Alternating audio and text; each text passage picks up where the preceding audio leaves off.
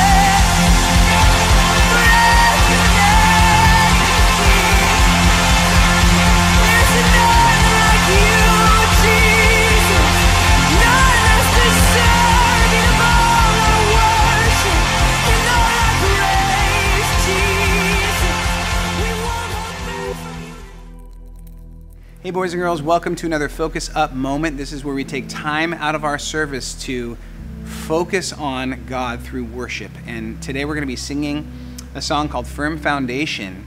And it's a really beautiful song. And so, to limit distractions, if you want to go to a different part of the room or even dim the lights a little bit, that would help you uh, maybe focus on God. So, you can do that now. And so, let's sing this song together.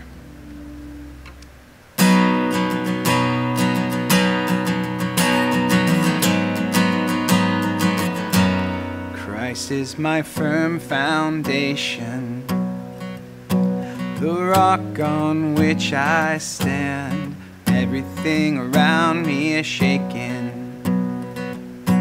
I've never been more glad that I put my faith in Jesus. He's never let me down. He's faithful through generations. Would he fail now? He won't. He won't. He won't fail. He won't fail.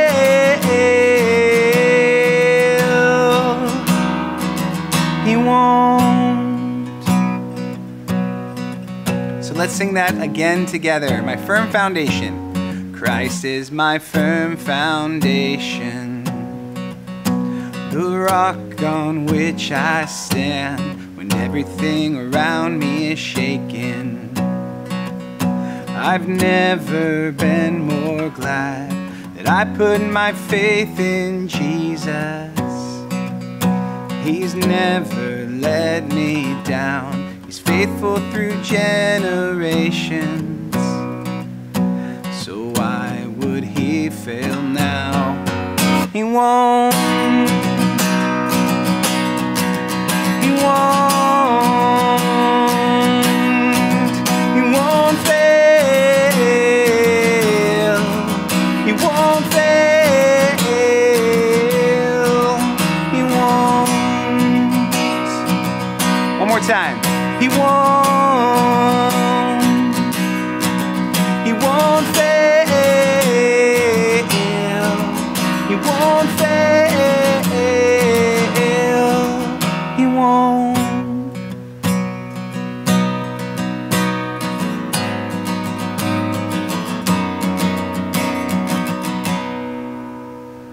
Thanks for singing with me in today's Focus Up moment. We'll see you next time. That's all for now.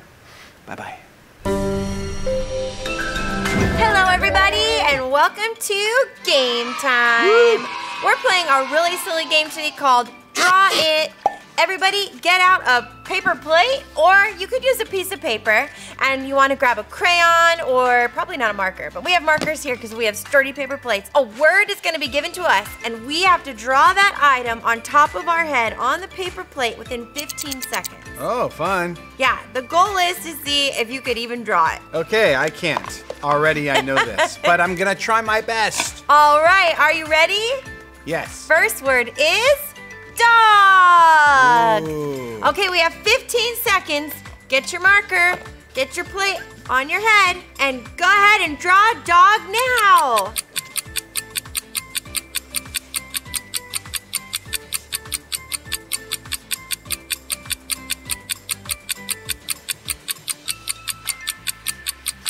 And stop. Ah! Okay, are you ready to reveal your drawing? One, two, three. Look, I'm good at this game. Woohoo! Yours looks like a dinosaur. Oh. Mine looks like a puppy and got all scrambled. cool. Well, ready to go to our next word? Yeah. Okay, ready? This is so silly. The next word is helicopter. All right, get 15 seconds. I'm gonna set the timer. Go. Helicopter, huh?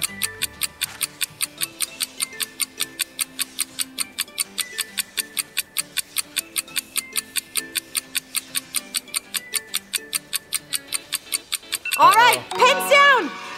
Reveal your drawing in three, two, one. Oh Mine was a top-down view of a helicopter from the top down. Oh no, Look, I had a little guy who was propelling from the helicopter. This is fun. How did you guys do? All right, let's move on to the next one. All right, our third drawing is a stick figure. Are you ready? Let me set the timer. Oh, this one's gonna be easy. One, two, three. Uh, uh,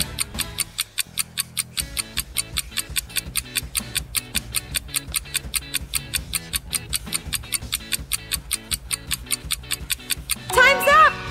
All right, ready to reveal your drawing in three, two, one. Hey, yours is pretty good. yeah. Looks like he's dancing. I know. Like, Break a leg. Look, mine is a bow. That This was- is so funny. Okay, we have one more. Our last one is the American flag. Whoa, that one might be hard. All right, are you ready? Yes. Let's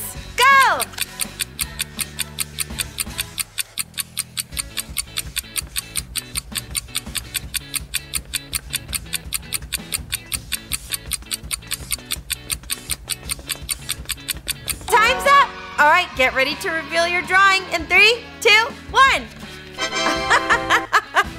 I don't think either of us is, did a very good job. I tried to get one. the stars inside the flag, but it didn't work. No, me either. Well, I hope you guys had fun playing Draw It. This is really fun to do at home too with your family and think of all different silly things you can draw on the top of your head. We'll see you next time. Bye.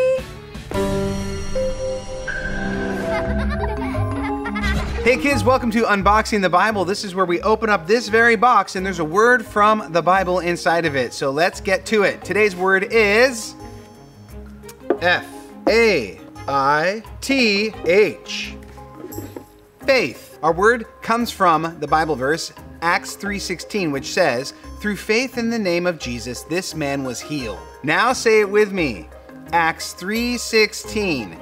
Through faith in the name of Jesus this man was healed. Well, great job unboxing the Bible with me today. Up next is a Bible lesson, so you're going to want to pay attention. We'll see you next time. Bye-bye.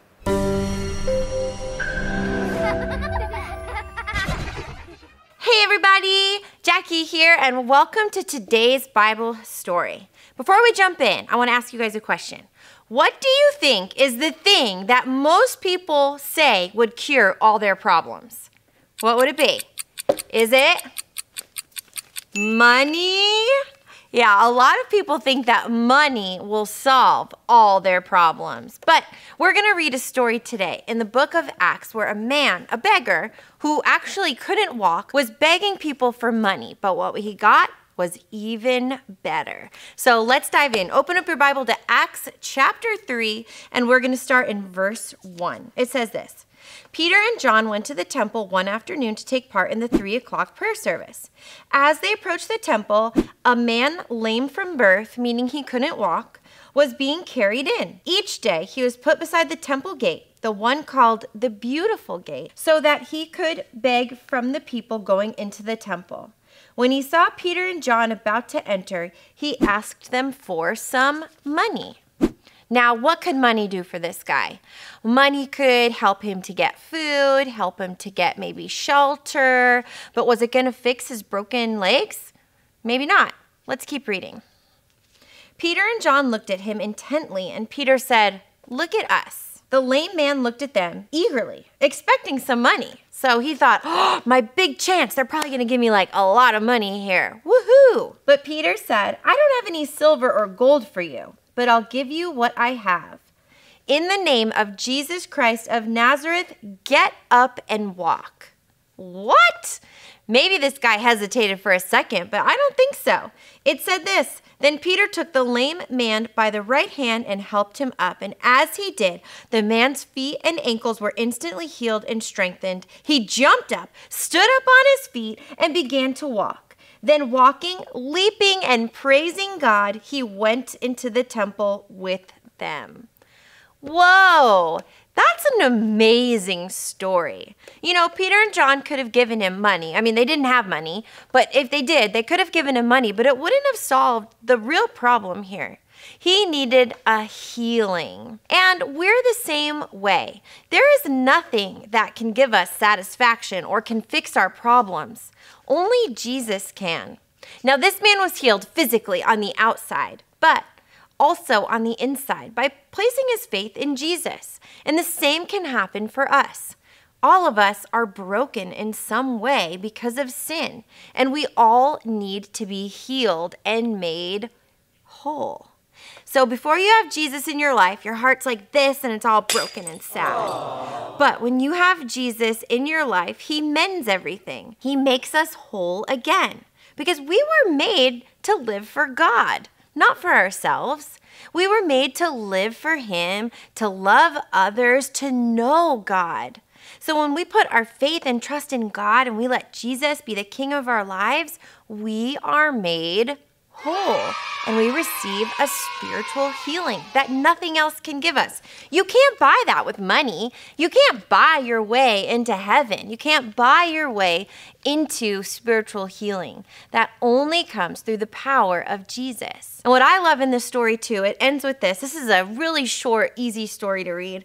But in verse 9 it says, All the people saw him walking and heard him praising God. When they realized he was the lame beggar they had seen so often, they were absolutely astounded. They all rushed out in amazement where the man was holding tightly to Peter and John. That's so cool. Not only did this change in this man affect him, but it affected everyone else around him who saw this change, who saw this healing, who saw this miracle. We want to show others the miracle that God has done in our life and make them want to know more about who he is.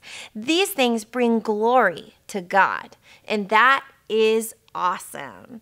Well, I hope you had fun reading the story with me today, and I hope it gives you hope. Maybe there's somebody in your life that you need to pray for. Pray for healing over their body. And just know, sometimes God doesn't always answer our prayers in the way that we want about physical healing. But whenever we ask Jesus for forgiveness, He always will forgive us. And that is the hope that we cling to.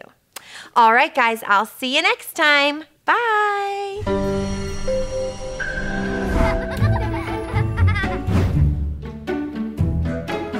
Hey friends, Jackie here, and welcome to Crafty Time. Today we have a fun and easy craft for you to do, and it's helpful for you to read your Bible. It's a Bible bookmark. I have two different versions I'm gonna show you. So I lose my place in my books all the time. And do you ever like fold the ear of the page over, but then you're like kind of sad because the page is all bent? So this is cool because you can make your own bookmark really easily. So I have two different versions. The first one is this cool one using just some ribbon and beads. So I'll show you that one first. First, pick a couple of ribbons that you like.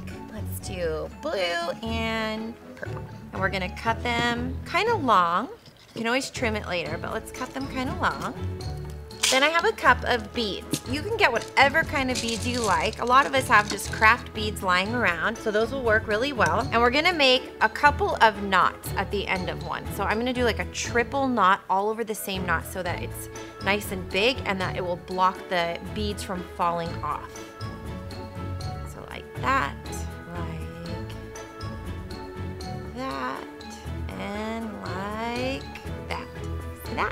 See my knot right there? Okay, so now I'm gonna take some color beads that I like. Let's do blue and purple. Okay, so I'm gonna string the beads. This is so easy. I'm just gonna string the beads right through the ribbon, like that. And then just make sure your knot is big enough that the bead's not gonna go through. So if you have to make even more knots, go ahead. And then just put the beads on in any pattern you like. If you wanted to be silly, you could even do this with certain shapes of dried pasta, like little penne bead or something. That would be kind of funny. Okay, and now on the other end, we're gonna make a knot, but we're gonna put a bead in the knot to weight it down. So what we're gonna do is put a bead through. We're gonna tie that knot like we did on the bottom, but with the bead inside. So see that right there? Like that. So the bead's hanging on the other end. So now it's weighted on both sides. So when you're reading your Bible and you wanna save your place, you will just put it in like this and close it up, just like that. Isn't that cool? Now, if you don't have the beads on hand, but you have some paper and you have some ribbon, you can also make a bookmark real easily like this. So you just cut your piece of paper, whatever shape you want. I was thinking you could even cut it like in a fun shape if you want. But this one I just have like traditional bookmarks. So this one I already cut and then I used a hole punch to use the top, but you could also maybe push like a pencil through the top. And then you just pick out your ribbon. So let's use gold ribbon for this one. And you just cut a couple inches of it, make a loop so that the ends meet. You put the middle of the loop through the hole and then see how this is a loop? You put the ends through the loop, oopsie, and voila, you have a cute bookmark. These also make a really cute gift for a friend or for your mom or anybody who you want to remind to read their Bible or just read in general and they can keep their place and think of you who gave them this gift. Well, I hope you guys like making bookmarks. If you do, take a picture, post it on Instagram, and tag us at Harvest Kids Live. I'll see you guys next time. Bye.